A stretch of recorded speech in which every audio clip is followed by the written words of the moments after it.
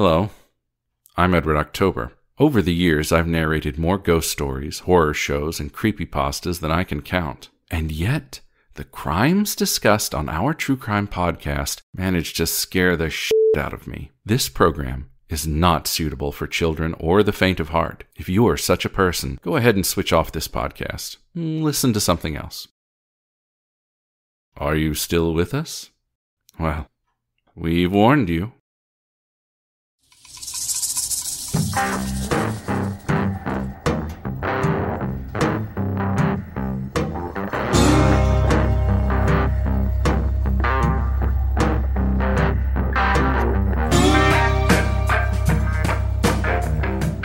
Hi, Jen. Hey, Cam, how are you? I'm pretty okay. How about yourself? I'm doing all right. I'm doing all right.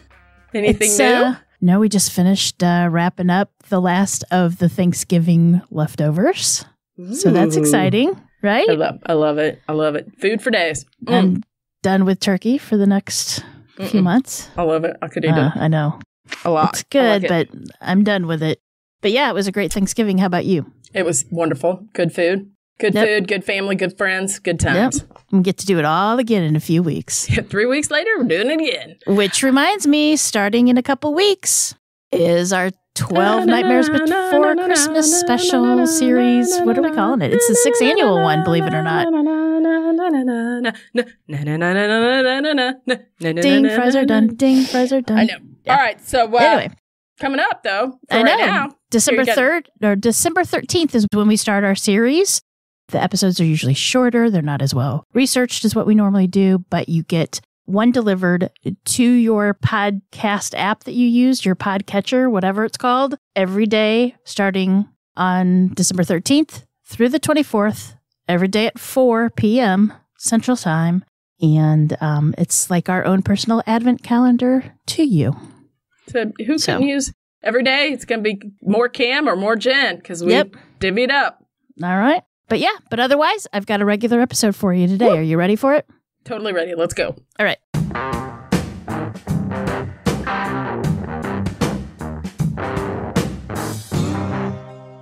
It was the summer of 1978 in America. The minimum wage was 265 an hour. The Bee Gees ruled the pop music airwaves, and Star Wars enjoyed a re-release in select theaters nationwide. And on the east side of the Missouri River, just 30 minutes from St. Louis, was a small residential town of Wood River, Illinois, where summer activities like fishing, swimming, and backyard barbecues were in full swing. Most of the residents of Wood River had lived in the town their whole lives and considered it the best of both worlds.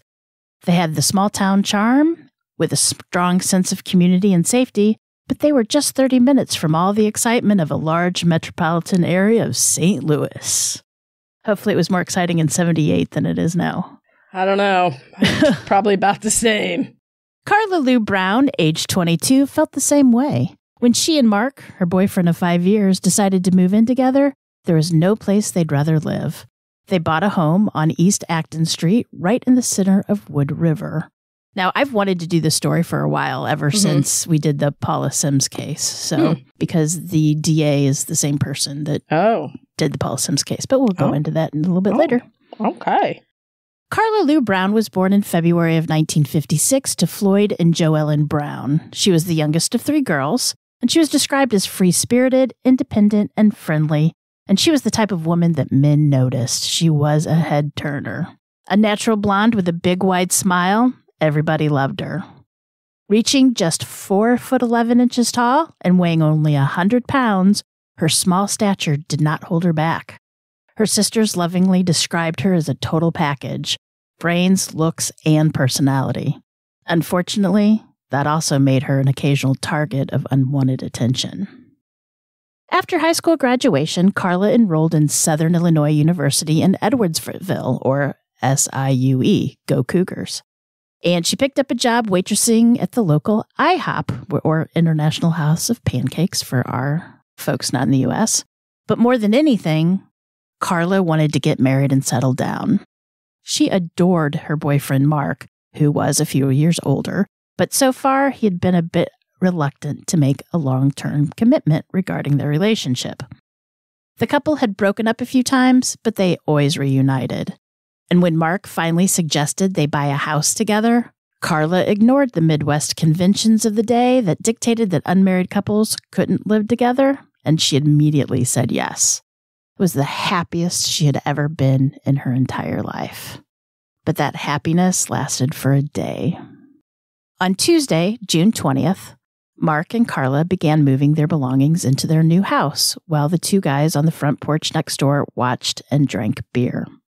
Mark had two friends along to help move furniture, and later that evening, they invited a few more friends and had a small party celebrating their new home.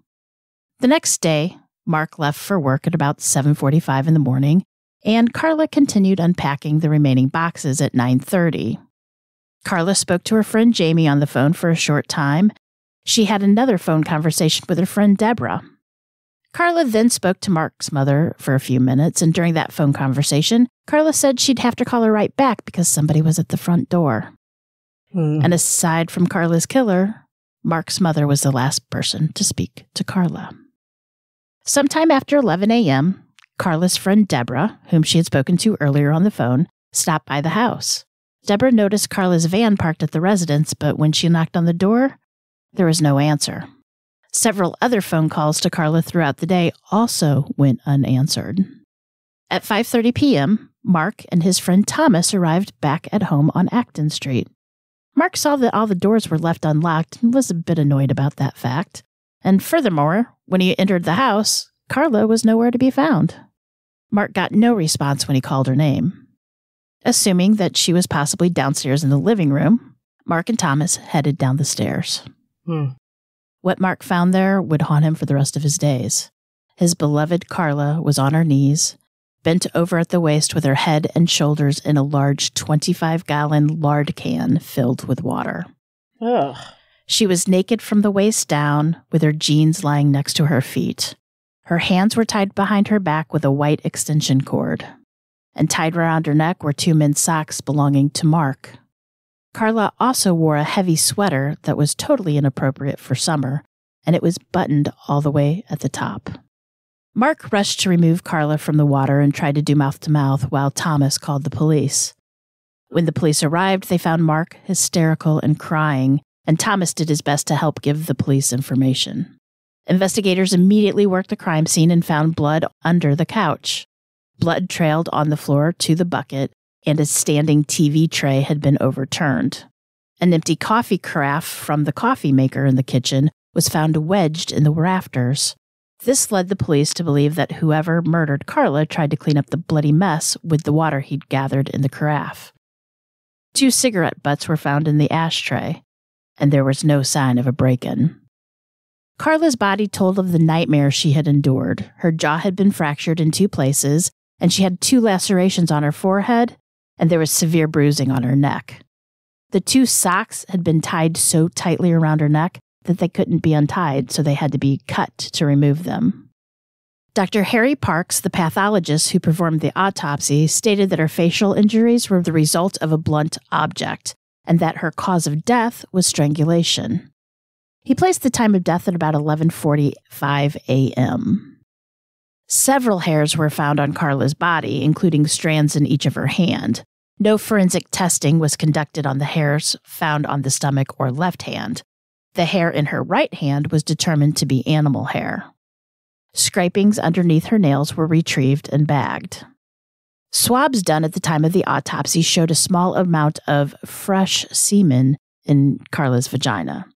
Although the pathologist could determine that intercourse had happened within the last 12 hours of Karla's life, he could not determine whether or not it was consensual. And it's important to note again, I know we say this almost every time, but there wasn't DNA testing available in 1978. It didn't come until what, mid 80s, I think. The most that forensics could do was determine the blood type of the victim, which was A, and the blood type of the perpetrator was also A. And just a little fact nearly 40% of Americans belong in the type A blood grouping. Not me. I don't know what I am, to be quite honest. I think I'm AB. We don't Oh, know no. what you are either, Jen. It's I okay. know. I'm special. So, in general, forensics at the time had difficulty establishing anything definitively. Most of the time, pathologists said things like consistent with or similar to, but could seldom say without a doubt that a specimen matched evidence completely.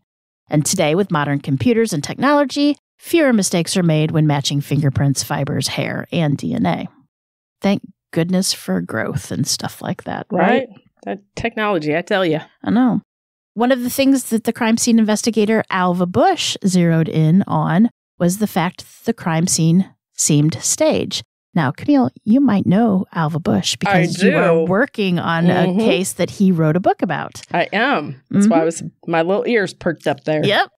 He felt the socks were tied too neatly to be done in a rush or during a struggle. The electrical cord around her hands was tied too loose, which led him to believe that she was tied up after she had already been incapacitated from the blows to her head. Also, the sweater didn't sit right with him. It was summer. And why would she have on a winter sweater? Mhm. right? The couple had just moved in, and off season clothes were being stored in the basement. So it's possible that the perpetrator just grabbed something to put on her. Also, Karla didn't usually button the top button of her sweaters. Bush also felt that if she'd been wearing that during the struggle, the button would have either broken or come loose when the perpetrator shoved her head in the bucket of water.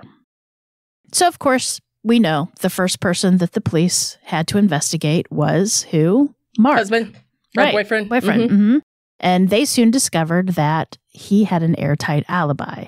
He was at work all day in view of all of his coworkers.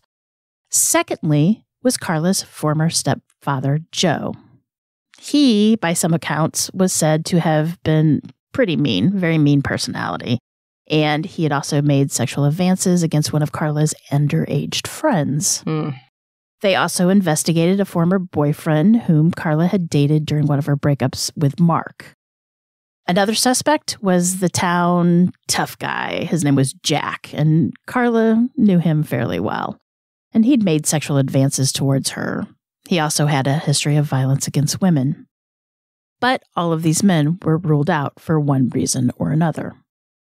At the time in Wood River, there was a serial rapist and thief preying on women in the area.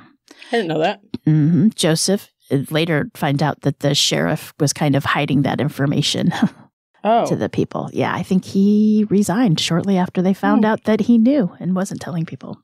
But anyway, Joseph Milazzo had convictions for two separate burglaries and attacks on women. One of his cellmates said that Milazzo had confessed to murdering Karla, but when the police questioned Milazzo, he denied it. However, when the police interviewed the informant, the details that he claimed Milazzo gave him just didn't match up to Karla's murder or her crime scene. So police thought that either Milazzo was lying to try and earn respect from his fellow jailbirds, or his cellmate was hoping to cut a deal of some sort. And I hope I said the last name Milazzo right. The investigators tracked down a little boy and his grandmother who saw Karla Brown standing in her driveway talking to an unknown man an hour before what the police think was her time of death. Edna and Eric Moses were going to Eric's dentist appointment and passing through the neighborhood. It turned out they used to live in the house that Mark and Karla had just bought, and they wanted to get a look at it for nostalgia's sake. They turned the car around in the driveway, and Eric saw Karla talking to a man and described it as a quote, angry conversation. Eric said the man had long hair, wore a white or light colored t shirt and jeans, and that he was kind of big. Now, the man could have seemed large simply because he stood next to the petite Karla, and the little boy would have had no reason to understand how diminutive Karla was. She was tiny, she wasn't even five foot. Mhm. Eric said that Karla was not wearing a sweater at the time, she was wearing a flowered shirt. His grandmother, Edna, also said that she briefly saw the man and he was wearing jeans and a white t shirt, but that shirt could have also been off white or light yellow. This was about 10:45 a.m., and aside from her killer, Eric and Edna were the last people to see Karla alive. Investigators interviewed and administered polygraphs tests to the two men who'd been outside on the porch that day Karla and Mark moved in. John Prante, a 28 year old unemployed barge worker who fit the description given by Eric and Edna Moses, and the resident of the house, Paul Main. Both men denied having anything to do with the murders. John Prante said that he'd been filling out job applications all day, which wasn't entirely true. He did apply for jobs, but it was only for a few hours. Either way, Prante passed his polygraph, and the test administrator said that he had detected no deception. Prante also told police that he was unaware Karla had been murdered until later that evening when he'd been hanging out at Harold Pollard's house. However, Paul was so upset and nervous throughout the test that the polygrapher couldn't make an assessment. A hmm. third man had hung out on the porch for the part of the day when Karla moved in, and his name was John Scroggins. Scroggins told investigators that he knew Karla from school and that he was the one to introduce Paul and John Prante to Karla. Unfortunately, the case went as cold as the Mississippi River in February. Did you catch it? Have you watched it yet again? Every did. single I episode. Uh, So now it's like a game. I play. I, I like wait to see what they're gonna say. if you watch Cold Case File, every episode, Bill Kurtis always, when he announces the case goes cold, he'll say, like, whatever state they're in. Like this morning when I was watching it, it was, and the case went as cold as Utah's western winds. So, Every single time. Every and I'm like, let's see, what's he gonna say? So then the episode I watched yesterday, the case went cold twice, and I was like, oh, and then he he let me down. He Oh, didn't. He was just like, the case went cold again. I was like, what? All right, good. All right, sorry. Anyway, the case went cold from there. The two fingerprints lifted from the coffee carafe didn't match any of the persons of interest, or Karla for that matter. Nobody was a suspect, and yet everybody was a suspect. Karla's family felt like the Wood River police did their best, but they were just way too over their heads. In an interview, Karla's sister Donna said, quote, they were good for rescuing cats out of trees, but not murder investigations. Yeah, Wood River's not very big, right? It's not. It's it's a tiny town. yeah. I mean, I doubt many murders happen over Mhm. there, especially before 1978. So Karla's case sat for two years. In the summer of 1980, while in New Mexico on an unrelated case, crime scene technician Alva Bush met with Dr. Homer Campbell of the University of New Mexico and asked if he had any suggestions on how to solve Karla's case. Dr. Campbell was a photograph enhancement specialist and was excited about recent technological breakthroughs. As a result of this meeting, Bush sent Dr. Campbell photographs from the crime scene and of Karla's body. Dr. Campbell felt certain that the TV tray stands that were knocked over in the crime scene photos were most likely what the killer used to strike Karla in the face. And amazingly, Mark still had those TV tray stands. And the police were able to find some of Karla's hair and even some of her blood still on them. After two years.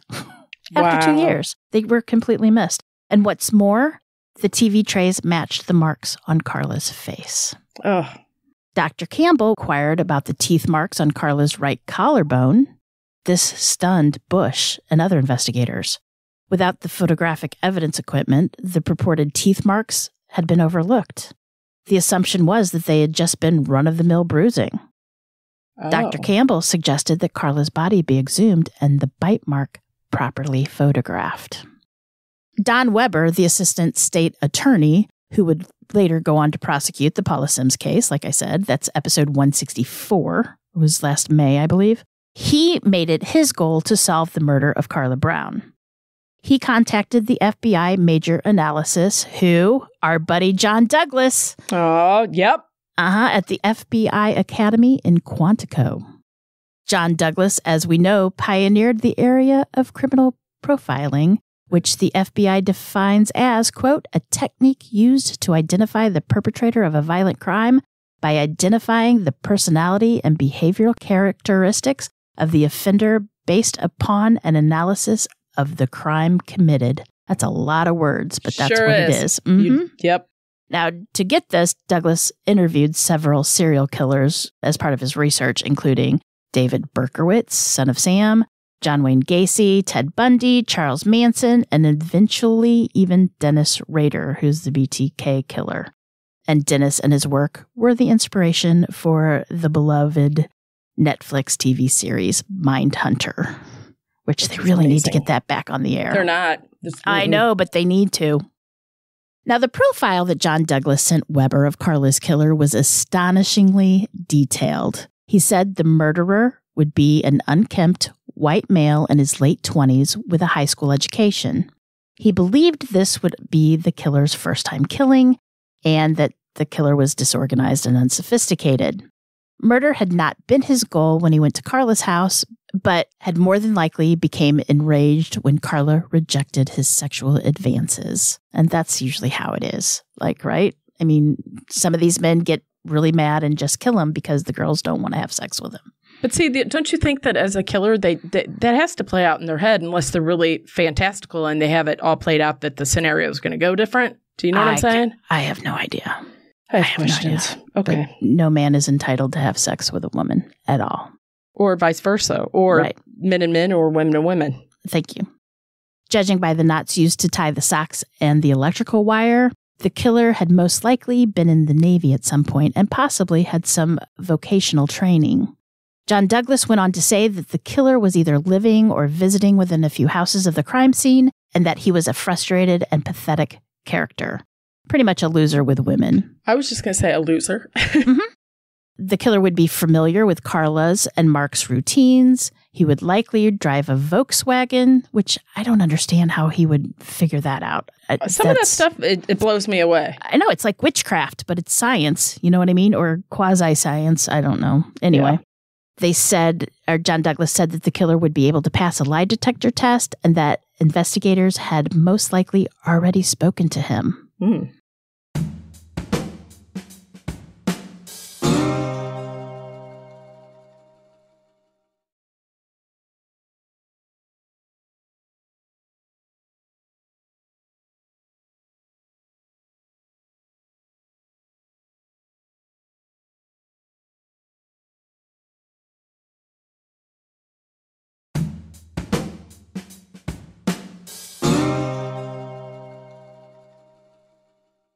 After the crime, the killer was probably spooked and left town, but as time passed, he might have returned into the area thinking that he had gotten away with it.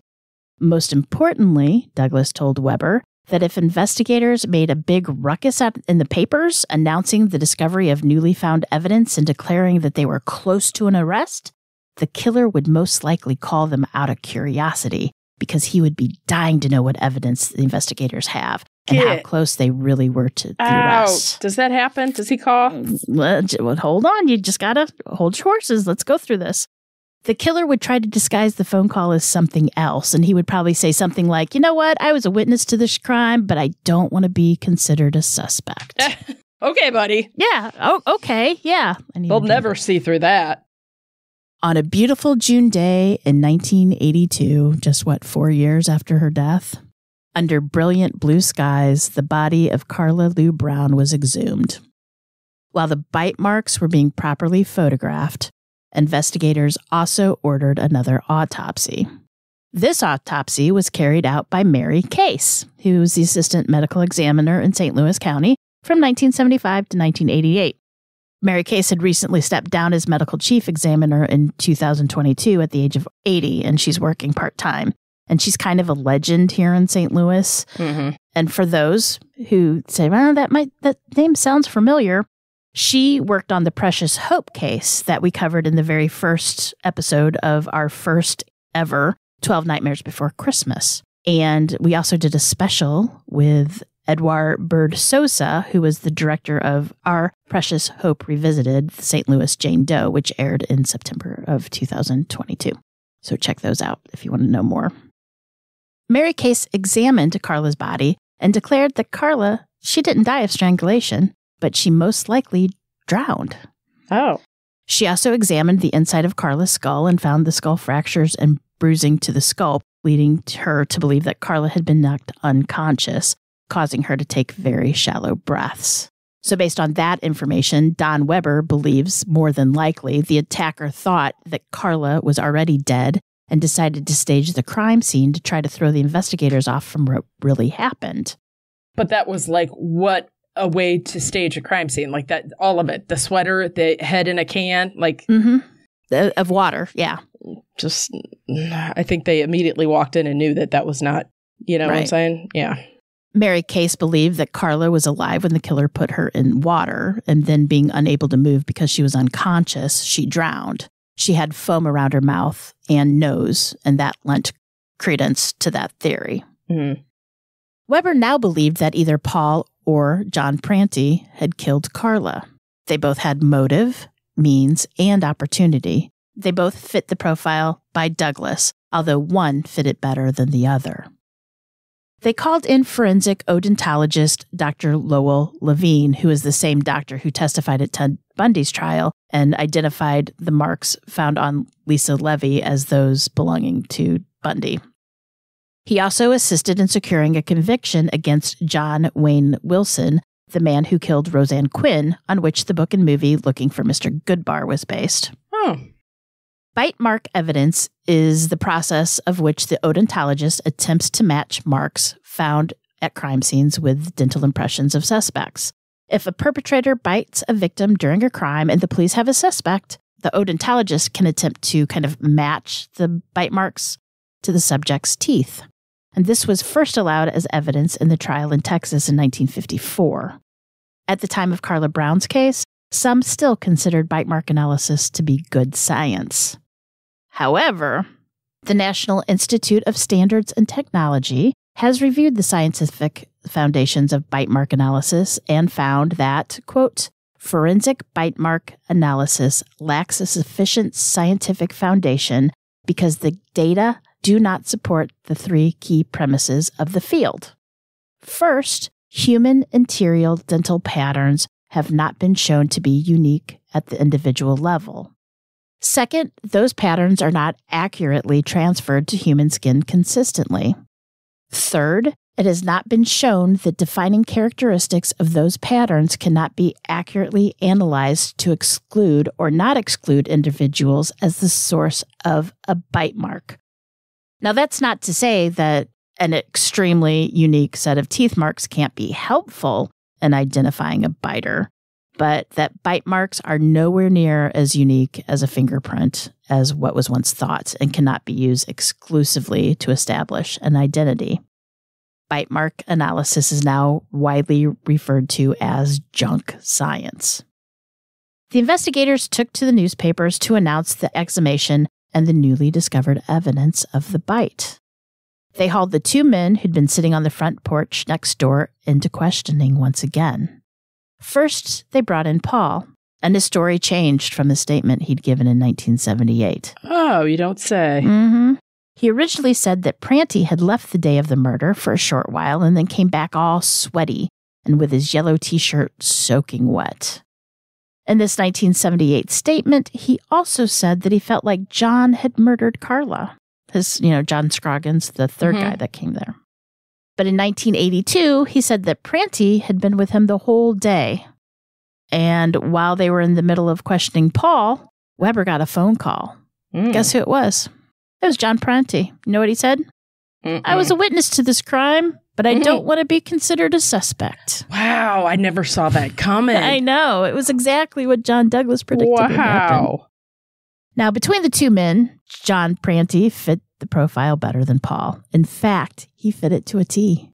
Prante had been the right age, race, and sex. He'd been in the Navy in Vietnam. His ed- education was high school level. He was unsophisticated, unkempt, and he had been visiting within a few houses. He was familiar with their routines. He passed the polygraph, and he was unsuccessful with women. He even fled the state shortly after the murders, you know, and he was the Mhm. only suspect to do that. And he also returned. Returned. Yep. He even drove a Volkswagen. No way. That that just it shocks I don't me. know. The whole Volkswagen. How do you just pick that out? I out? don't know. And to Weber, the most convincing thing was that Prante was the only one of the suspects who had called him to ascertain the situation. Just like they said. Just like John Mhm. said. John's so smart. At this point, friends and acquaintances of John Prante came forward with testimonies of what they remembered from the days after the murder. Mm. John Scroggins, who had seen Prante later that evening, said that Prante had been obsessed with Karla, making lewd comments about her body, about her breasts, and what he wanted to do with her. And he kept bringing her up in conversation all night long. Mm. They didn't find that odd? I, I don't know. I would think so. At least four other people told detectives that a few days after the murder, Prante commented that he would be considered a suspect in Karla's murder because he had been next door. He admitted to them that he had been in Karla's house Mhm. earlier that day, but denied involvement in the murder. He also claimed that he had seen Karla's body and that she was found in water and had been bitten on the collarbone. Oh, he he he saw her body and he saw that. Mm-hmm. While the witnesses often varied on when John mentioned the bite mark, anywhere between 30 minutes to 10 days after the crime, the obvious point was that John knew about and was talking about the bite mark two years before the police even knew it existed. Mm-mm. Yeah. How would and, like how can you if you had a friend that was like talking about this? Yeah. That's Mhm. red flag. Red flag alert.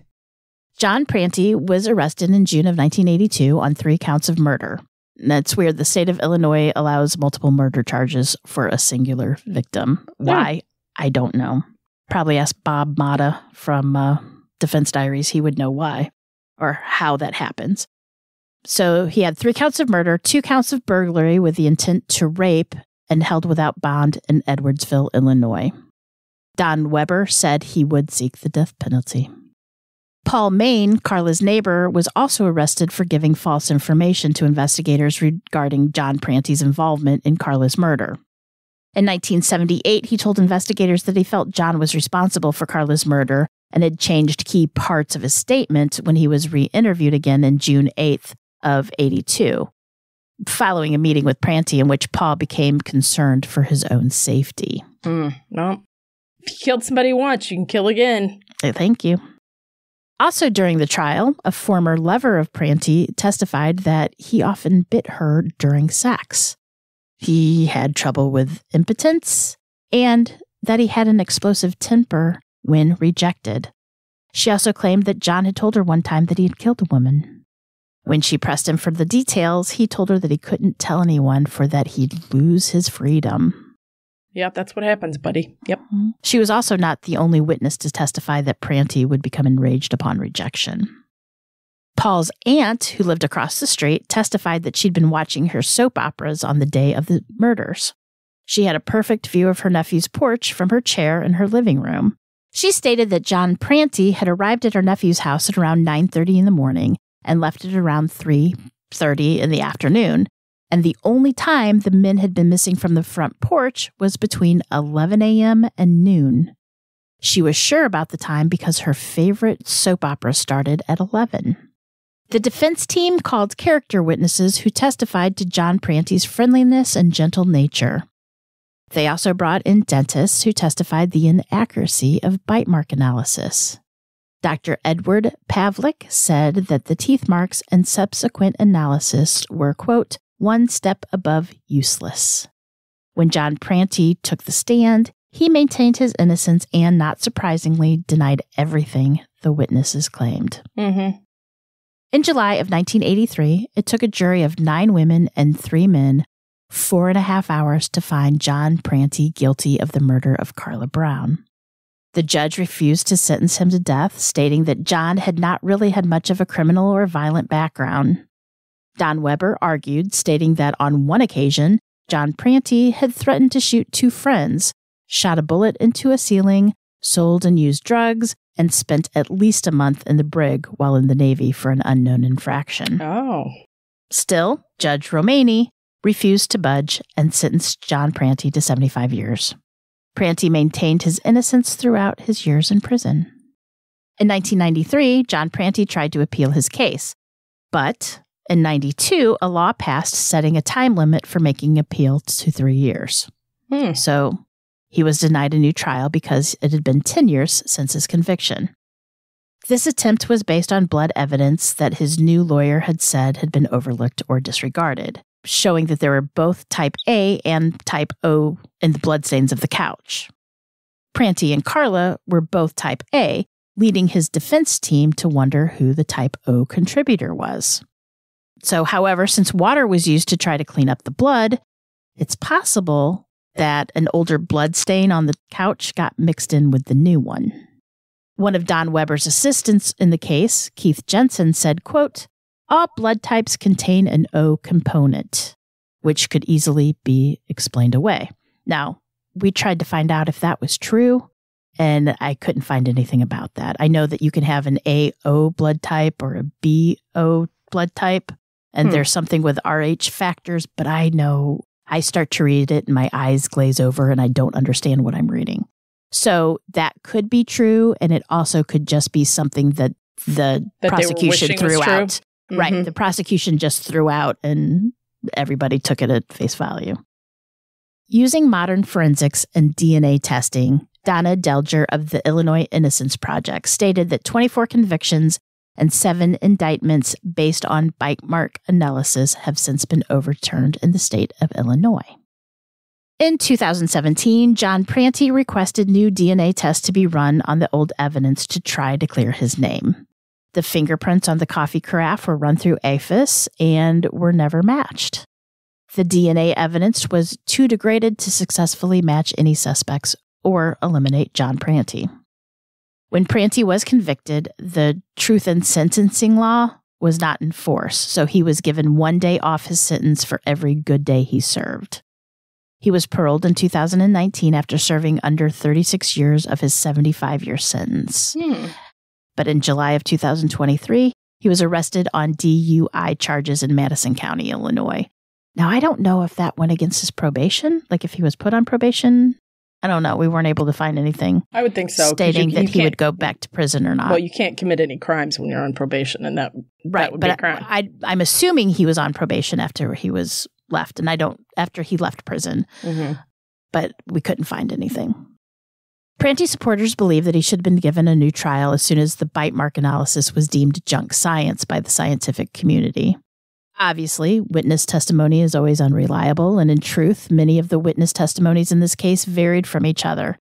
They, they either differed in what night John Prante told them about seeing Karla's body or what shoulder he insinuated that had the bite mark. For the jury, it came down to the sheer number of people who had similar enough stories of the fact that John knew about the bite mark years before the police did to find him guilty. It was the knowledge of the bite mark that sent him to prison, not the bite mark itself. Karla's family has not come to terms with the impact Karla could have had on the world, as she was so cruelly and selfishly snuffed out. She was just 22 years old, full of zest, love, and the desire to live. And that's it. That's the story of Karla Brown.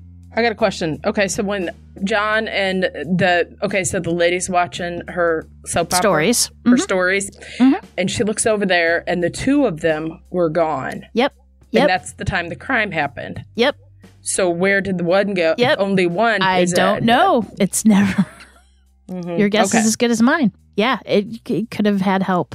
John So did- could have had help. So, but John, don't you think he'd sing like a canary? You would think, I'm, if I'm going down, you're going down with me. especially if he's been uh, saying that he's been, you know, he's yeah. been, And he's never I said that didn't his- do it. He's never said anything about Paul. He's never, no, Ooh. no.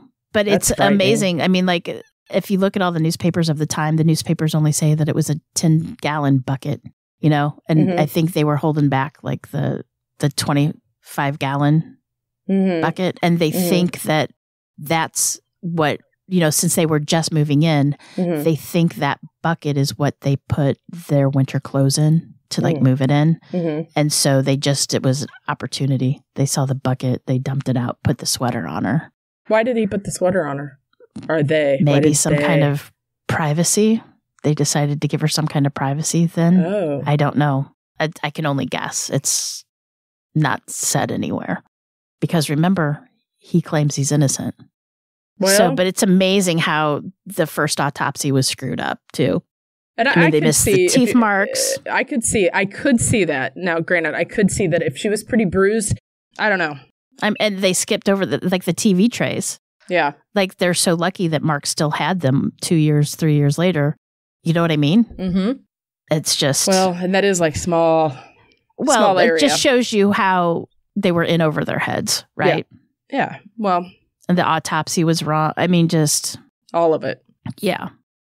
But and I did. We I tried to look up about the O blood I type. don't. I don't know about that. I had I've no idea. that. And the truth in sentencing law, I had to look that up. And this Mhm. is what I'll link it in the Show sources. Mhm. But this is how it was ex- explained online. Before 1998, people incarcerated in Illinois prison could proactively earn time off their court appointed sentence through good behavior and participation in prison programming. Mhm. Overall, these credits could reduce a person's sentence by up to half or a day off for every day in prison. Hmm. Mhm. The system changed in 1998 with the passage of truth in sentencing laws. Today, these laws limit the amount of time people convicted of certain offenses can earn off their non life sentences. And it's broken up into five tiers. Mhm.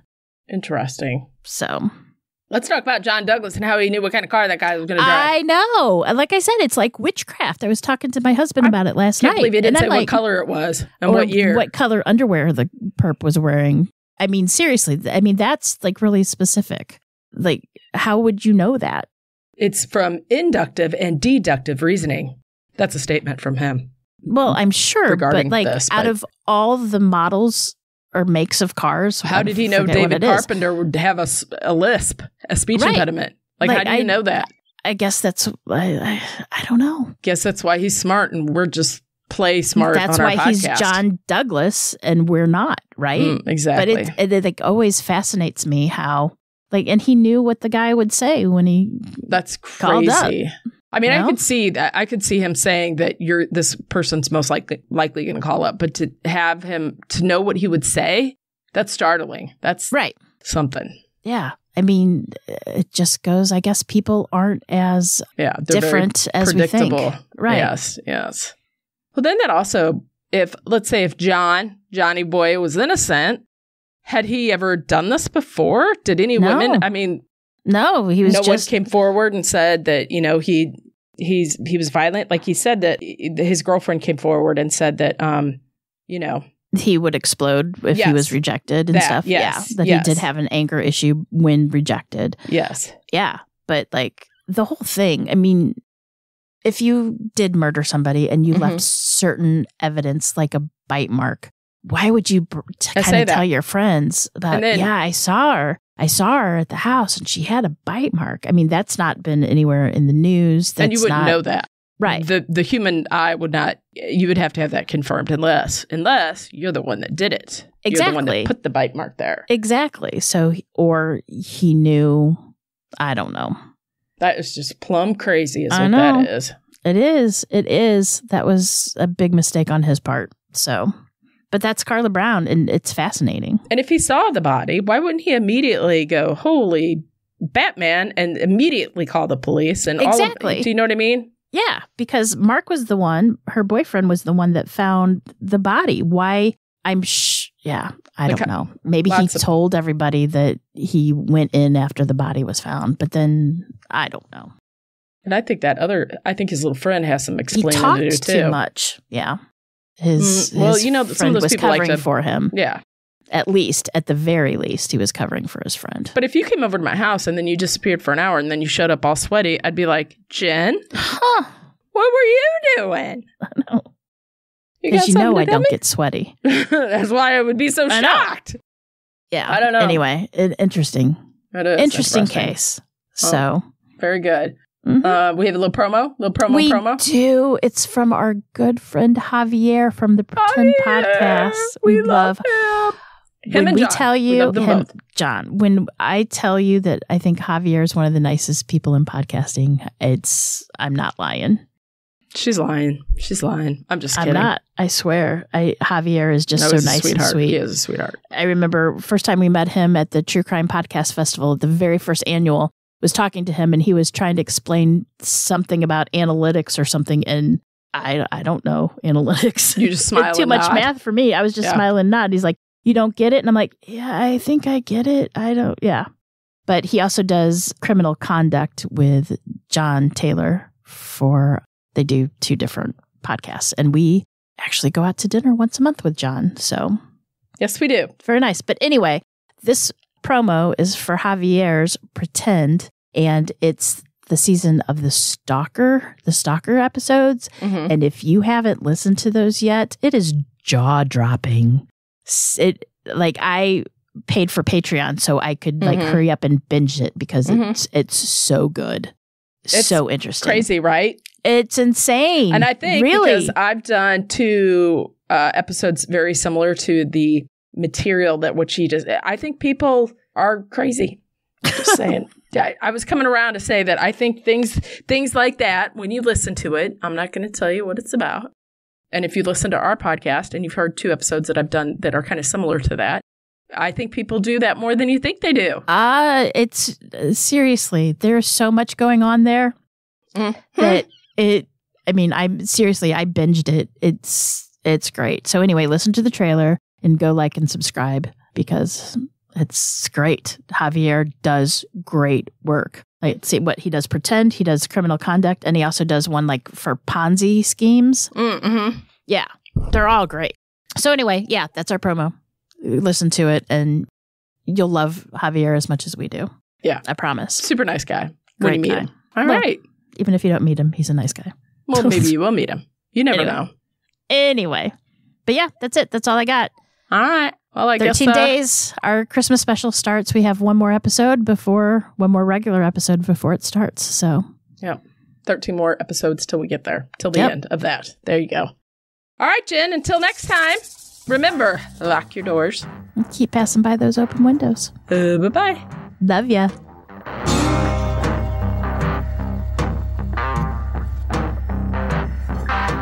For more information about this episode, as well as all other sources, please check out our show notes or the podcast website at ourtruecrimepodcast.com. Our True Crime Podcast is developed and created by the hosts, Jen and Cam. Original music and audio mix of all our True Crime Podcast episodes is courtesy of Nico Vitesse from We Talk of Dreams. You can reach Nico at wetalkofdreams.com.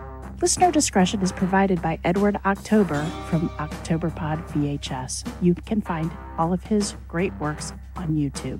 Please make sure to like and subscribe to our True Crime Podcast wherever you listen to your podcasts. We can be reached on Instagram and Facebook at True Crime Podcast or on Twitter with the handle at Our True Crime Pod.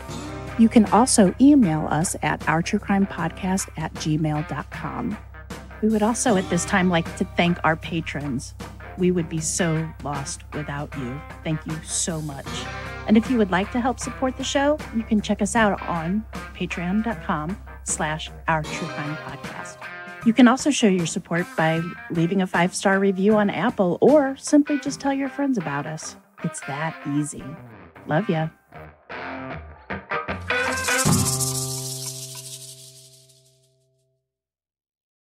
Two years ago, an Arizona couple told me that they were the victims of a sadistic cyber stalker. this guy put a threat out to our home and he said, I'm in your neighborhood and I'm going to kill your family.